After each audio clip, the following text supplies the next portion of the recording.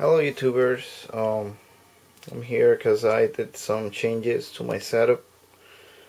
Um, right now I bought a 48 volt uh, inverter that I'm running right now and I still have my two grid tie inverters. Now the problem was that uh, I wanted to go 48 volts and um, this inverters only can do around 46 volts open circuit and I needed more voltage uh, so that the charge controller that I also changed um, could uh, uh, charge the batteries because the voltage of the PV must be uh, uh, higher than the voltage of the battery bank. So so yeah what I did was I divided um, uh, 24 volts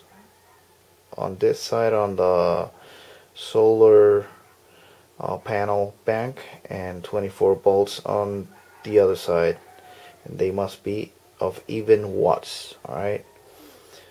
And then what I did was I I I I configured 48 volts from here from this two. I, I put the positive to negative and and I took the negative from here and positive from here and put it to the to the uh, solar charge controller alright so yeah that's what I did and uh, now uh, as you can see I also upgraded my batteries to um, the brand is CD Technologies Dynasty UPS High Rate Max batteries. So I have four of those.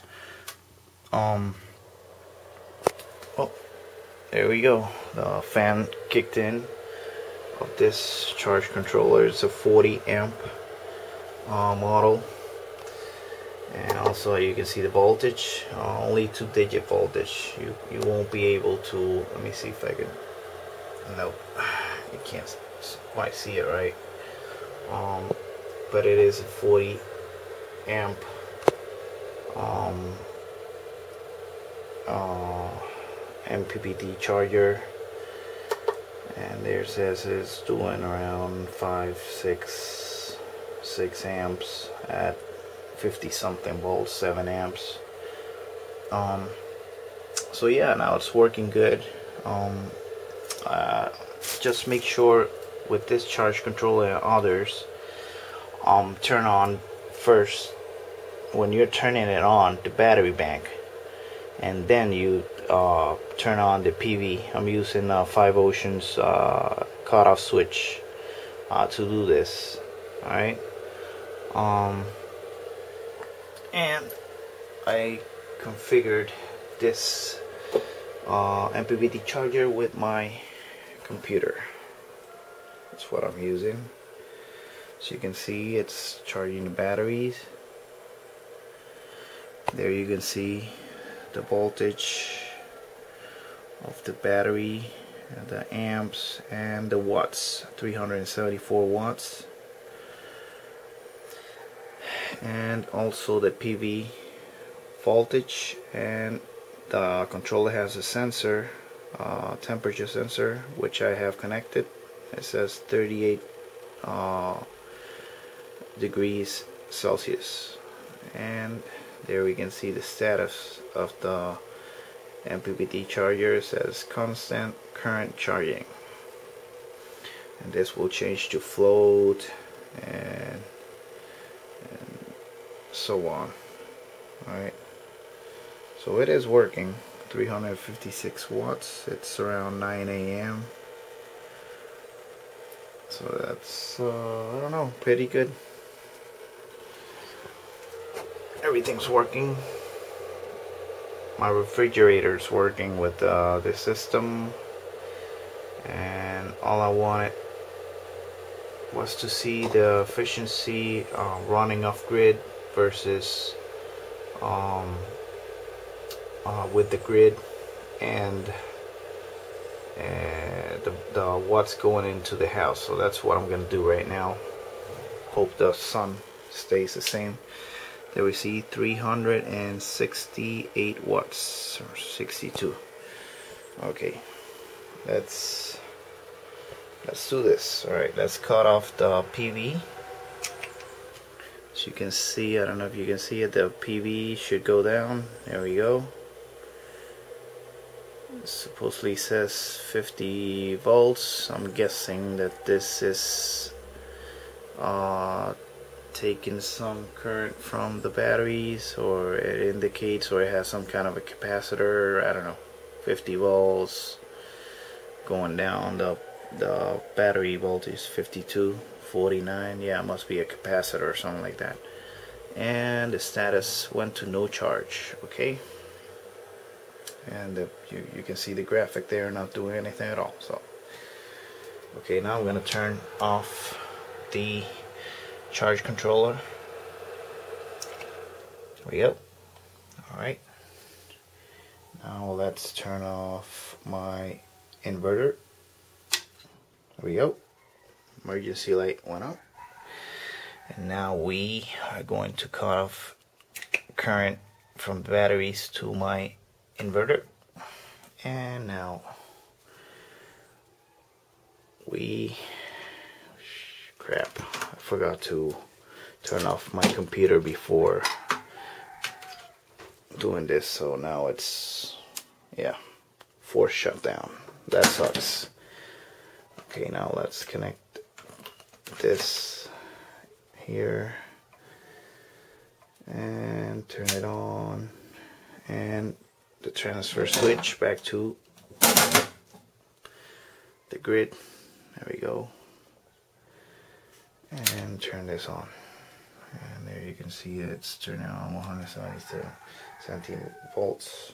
Let's turn on my grid tie inverters kicking in so it was around 360 something watts let's see what we could produce with this uh, 324 326 so that means at this time 9 a.m.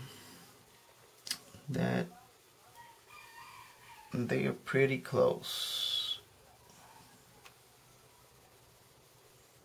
My 48 volt system and the two grid ties that are working on individual solar banks of 24 volts are pretty close.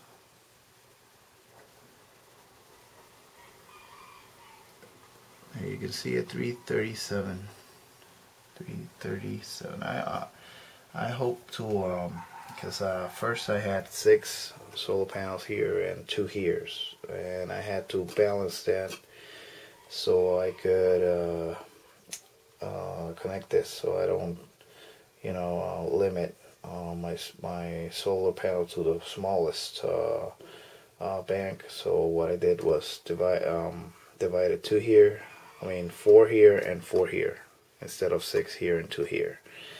Um, so this should be in safe within safe specs or around I don't know 200 or 300 um, uh, watts. And this well you know 1000 watt inverter so it should be uh, uh, working cool. Okay so in the future I might um, buy one more and you know um, go to around 600 watts on each bank. This can still take uh, a little more. This one uh, only 500 watts. Um, they recommend around 600 watt um, the input. Uh, oh yeah well the system is working. 360 um, 360 watts 364 so yeah it could be that the sun or there was a cloud there. So they're they're almost the same. Yeah. 37 oh yeah definitely. Um, okay youtubers. Hope you enjoyed my video. I don't know if I mentioned it, but uh, I'll be doing an off-grid installation uh, for my mom because she uh, is building a, a, house on another place and, and we don't have grid there so I'll be using a 48 volt for my for her refrigerator. And I'll be going 12 volt um, uh, for the lighting and uh, washing machine and, and, and dryer which is a gas dryer uh, hybrid uh, gas electric um, dryer which is more much more efficient than uh, the electric uh, dryer. Okay youtubers you take care. Thanks for watching. Bye bye